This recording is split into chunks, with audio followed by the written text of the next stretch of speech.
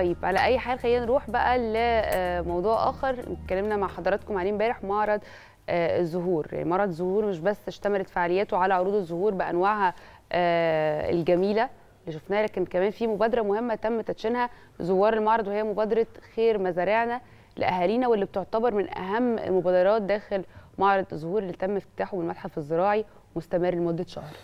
اللي ما يعرفش معرض الزهور هو من أجمل الحاجات اللي بتتعمل في القاهرة أو في العاصمة. بأجمل ألوان الزهور ويبقى في معرض بيلم كل الناس اللي بتشتغل في هذا المجال؟ المشاتل الخاصة.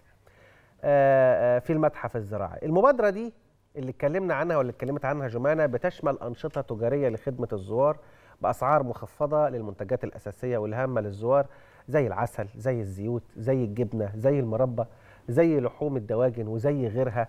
من المنتجات. خلينا نشوف المبادرة دي ونستمتع بألوان معرض الزهور ونرجع نكمل فقراتنا معاكم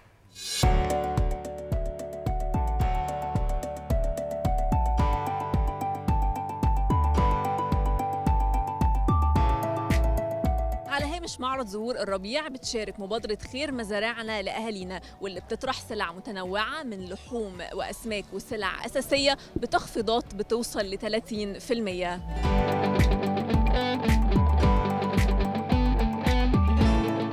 المتحف الزراعي المصري وفي هذا العبق التاريخي بيستقبل اليوم مبادرة خير مزارعنا الأهليين هذه المبادرة التي أثبتت وجودها في السنوات الماضية والتي تبناها وأعلن عنها معالي الوزير السيد القصير وهي المعنية بضخ كميات كبيرة من السلع والمنتجات الغذائية وبجودة عالية وبأسعار تنافسية تقل عن مثيلتها في الأسواق الأخرى. إحنا مستمرين في رقابة هذه المنافس أيضا ورقابة هذه المعارض للوصول إلى ما يسمى بالرضاء الاجتماعي لدى المواطن المصري من منتجات وزارة الزراعة. النهارده إحنا في مبادرة خير مزارعنا الأهليين وفي هذا المعرض لا يضم أكثر من 50 عارض آه، بيعرضوا كل أنواع السلع لا تصل حوالي 220 سلعة غذائية للمواطن. زيت زيتون هنا في, في هنا لقيناه آه، يعني مغشوش بطريقة فجه جدا جدا ومنتشر انتشار غريب خالص. دي المشكلة اللي بنعاني منها هنا في الأسعار فرق في الأسعار. لما تلاقي زيت عندك هنا ب 130 جنيه الكيلو وفي نفس الوقت السعر العالمي للزيت الزيتون مربوط بالسعر العالمي 186 جنيه جملة ففي اختلاف كلي. بالنسبة لنا إحنا هنا عاملين آه، خصومات 20% على الزيت. السعر الزيت 240 جنيه وعليه خصم 20% من آه، المبلغ عليه. عندنا منتجات ال- الألبان من الجبن والألبان واللبن والزبادي. عندنا اللحمة فريش بلدي من مزارعنا. إحنا اللي بنأكل ال- المراعي المراعي بتاعتنا. إحنا اللي بنعمل العلف بتاع الحيوانات. فإحنا ضامنين الحيوان ده بياكل إيه أو كده اللي هي ال- المراعي بتاعتنا. عندنا ال- البيض حيوي برضو من مزارعنا إحنا اللي بنعمل العلف بتاع الفراخ. علشان كده برضو إحنا ضامنين البيض بتاعنا حتى تحطيه بره التلاجة شهر ما بيجرالوش حاجة يعني. إحنا بننتج كل مصنعات اللحوم كل ال- الفراخ من أول المجزئات بتاعتها. الوراك البانيه الشيش طاووق. الكبد والقوانص كل صنف على حدة.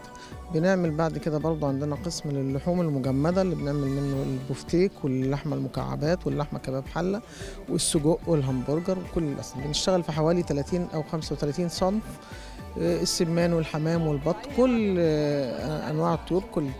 إحنا بنخضع للطب ال- ال- البيطري والمعرض إحنا بتكليف من السيد رئيس الجمهورية ومبادرة السيد وزير الزراعة والسادة القائمين على المعرض. إحنا ده تاني معرض بنكون معاهم خير مزارعنا لأهالينا كنت جاية آخد عسل من آه، بحوث ال- الأبحاث النباتات لأن العسل بتاعهم كويس جدا.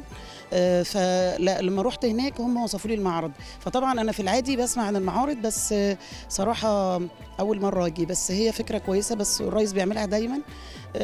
ربنا يبارك له يعني بيحاول آه، يخفف عن وطأة ال- العبء عن المواطنين يعني وكده. الأسعار حلوة وأقل من بره بكتير والحمد لله زحمة جدا والناس كلها بتاخد والحمد لله كله كويس.